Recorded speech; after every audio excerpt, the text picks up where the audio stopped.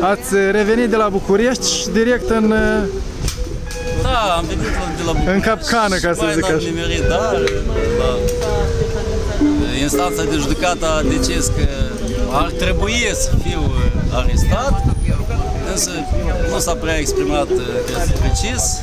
Poliția n-a înțeles. Dar asta e în dosarul cel penal în care s-a pronunțat prima instanță și v-au dat Da. termen, da? Da, da, acela da? Și atunci de ce trebuie arestat dacă încă nu există o hotărâre executorie, nu? O, Da, o dar sentință la noi executorie. cine se conduce de asemenea dispoziția Am legii. înțeles. La noi, dacă este comandă, comanda de mult a fost, încă în 2017, că trebuia să fiu arestat, băgat și nu m-a arestat, cred că. Eu am aflat mai înainte și am plecat. După ce s-a schimbat și tot timpul am muncit acolo în România, am făcut ceva. Și ați m-am lipsit cât? pregătit. Vreo doi ani? 2 ani și 3 luni, exact. Aha. Și cum s-a schimbat, uh, cum domnul Plohotniuc a, A plecat. eu eram gata să vin, m-am reținut puțin, uh, deoarece am avut treburi personale care le-am început să le rezolv de mult timp și le-am, uh, iată, s-au finalizat, slavă Domnului. Și imediat cum am finalizat treburile, am spus rudilor că mă duc la Chișinău, toți au fost împotrivă, eu am zis Simțeau că e riscant, da? da, e riscant, totuși m-am, am sperat la rațiunea judecătorilor în principiu, a procurorilor nu. Și m-am înșelat, Curtea de apel, componența 3 judecători au decis că trebuie să fiu arestat. Și au venit și polițiștii după mine, deci am fost dus la poliție la Vulcani. Însă ni- poli- judecătorii nu le-au dat polițiștilor decizia respectivă, necătând că ei au insistat. Și nouă nu ne-au dat nici mie, nici avocatului meu. Doar au pronunțat-o verbal și gata, da? Da, da. Au zis că să așteptăm uh, încheierea. Nu ne-au, nu am așteptat, am așteptat. Poliț- șeful care era grupului care s-a dus să ia hotăr- încheierea, au, au ieșit un tânăr și a zis că nu-i dau încheierea și aceea...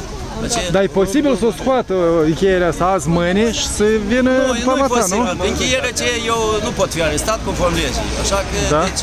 Da, i-ai eu- scos-o conform Bă, legii, dacă nu? ar În avea numele comandă- legii e scoasă. Ar avea comandă, nu, păi stai, da. E scoasă ilegal și domnii judecători care au emis acea încheiere trebuie să răspundă. Cum trebuie să răspundă și pentru că 2 ani și ceva țin dosarul și acum au hotărât eh, repede să-l termine. Eu Dar chiar de ce l-au ținut 2 ani? Pentru că nu vinea dinata la ședință, nu? Sau Vreau să... Eu, aveai avocat, Păi, te, te judecătoria reprezenta? Boican 5 ani a ținut dosarul. Am La- înțeles. La examinat, doi, doi, doi martori, un martor și un parte vătămat a interogat domnul judecător 5 ani. Și iată, după 5 ani când a primit, când a venit momentul și i s-a spus că trebuie să mă condamnă, m-a condamnat. Ca și ăștia. Boiucani au făcut asta, da? Mhm. Domnul Dolghieru și procurorul care a dus dosarul meu a devenit judecător la Buican datorită faptul că a dus la bun sfârșit, în mare parte datorită Și faptului asta e avansare cumva sau ce? da, un fel de avansare, dar domnul procuror care a dus dosarul meu, nu numai un dosar al meu a făcut asemenea ilegalități, multe are, multe. Acela, tot același procuror a dus dosarul gruzinului, dacă ți minte, tot același procuror a dus dosarul, a fabricat dosarul lui Izabela Timofeeva, care și de șază pușcărie și eu, că eu nu știu de luni am să încep să o caut unde să vedem. Doamna Catană la Curtea Supremă de Justiție a condamnat-o, a condamnat-o ilegal și eu am să fac totul ca doamna, domnii ăștia să uh, fie uh, pedepsiți. Dar până să ajungi la judecată și în custodia poliției, te-ai dus și ai depus dosarul la CNA, am văzut un video. Până să ajung la judecat, întâi am fost reținut la VAM. A, tot? Și Ore, așa au fost. deci, da, au ținut tot autobuzul, până mă verificat și, și cred că n-au găsit motive să mă rețină și mi-au spus că până la urmă du-te la Poliția Buicani. Și eu până am adus la Poliția Buicani am hotărât întâi, am venit cu scopul să depun documentele și la concurs. Și să particip și la judecată, care era la concursul, speram ca să, să depun documente la ora 1, la 13 și până la depunând documente, până la 15 mai aveam timp să ajung la judecată Curtea de Apel. Și într-adevăr așa și a fost. Noi am venit la ora 15 la Curtea de Apel.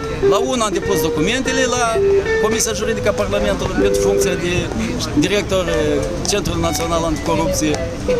Și m-am dus uh, la judecată. Și de acum, după ce am depus documentele, că băieții de la, eu le mulțumesc la aceea și am să le mulțumesc prin toate mijloacele, cei de la Vamă, că au fost oameni și au avut încredere în mine, să le mulțumesc polițiștilor, că seara mi-au dat drumul, mi-au, mi-au, mi-au dat drumul acasă. A, deci ai fost acasă, în familie.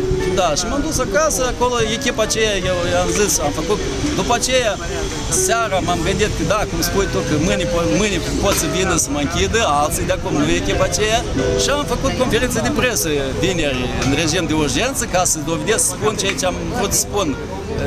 Acum ție sau încă o să mai spun, încă nu e momentul în unele cazuri.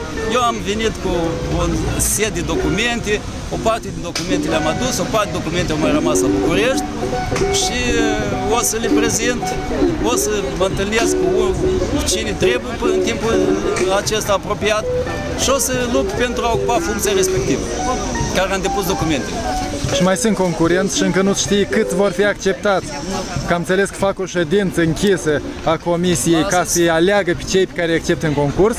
După aceea le publică dosarele pe internet și încep dezbaterile, intrigele. Deci, care e situația? Deci, eu am de, a fost condiții. A, s-au cerut anumite documente. Am depus documentele care conform condițiilor uh, Afișate, cerințelor publice, comisiei din lege, respective probabil, juridice, da. da, din lege.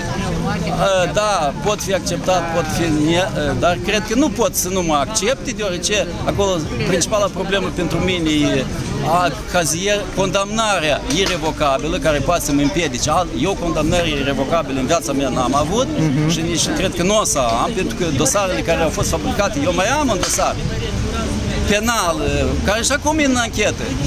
Din 2005, 15, eu sunt în anchetă, dragă, am spus la conferința de presă de mine, știi acum îți spun și la toți care o să mă asculte, eu 15 ani, din, dou- din mai 2005, mă află sub anchetă. Prima anchetă a fost deschisă la comanda lui uh, Petro Poroșenko, la, la indicație directă a lui președintelui de atunci al Republicii Voronin, ca să mă fiu înlăturat de la geme. de atunci. A doua dosare l-au făcut când au văzut că în dosarul primul nu pot face nimic. Asta l-au făcut în 2009. Și acel din 2009, 3 ani a stat la anchetă, 5 ani la domnul Dolghieru și 2 ani șede la curtea de apel. Și băieții așteptau comanda, cred. Au fost, au avut, eu știu că la curtea de apel au avut comandă să fiu uh, condamnat. Acolo a fost președintele colegiului respectiv care avea, deținea dosarul, a fost Ulenovski. Dar instanța de Și fond a Uleanovski- scos o sentință cu cât? Da, 6 cu- ani cu de nouă închisoare. ani. Sau 9. Domnul Dolghieru, el a zis că... Ca filat. 9 ani. Bă, mă rog. Nu, niște problemă constă în aceea că, nu știu, la domn Filat, dar în dosar, mă rog, îl lasă. Iată, dacă o să apar la curtea de apel, eu cred că o să venim, dar o să ne pregătim pe data de 30 septembrie următoarea, Următoarea ședință. ședință. Și acum o să vedem, eu le-am zis că dați-mi voi, iată, eu am reluat, a fost reluată urmă, uh, ancheta de la început, ca eu să po- fac cunoștință și este în dosarul acela că mult și s-a schimbat, acolo au dispărut multe documente din el și uh, o să venim și atunci o să, iată, o să filmăm, o să registrăm, o să înregistreze ei și o să începem fil, fiecare fil a dosarului, e foarte interesant acolo. Păi, o să vadă și opinia publică. Că dacă o să ajungem noi până la 30 septembrie, că judecătorii și ea să mai judice ceva. Că eu consider că tot Colegiul Penal al Curții Supreme, tot Colegiul Penal al Curții de Apel trebuie să plece toți în demisie, să lucreze judecători de rând pe raioane, dacă ori merita încă, și pe urmă să se întoarcă înapoi în Chișinău, vor- cel puțin câte 3 ani de zile să lucreze, dar dacă În purgatoriu. da, trebuie curățiți uh, instanțe de judecat, colegiile penale. Colegiile penale au fost, este a Curții de Apel și Curții Supreme, au făcut uh, în țară, repet, au îndeplinit comenzi și singur au uh, condamnat oameni din proprie inițiativă pentru anumite privilegii.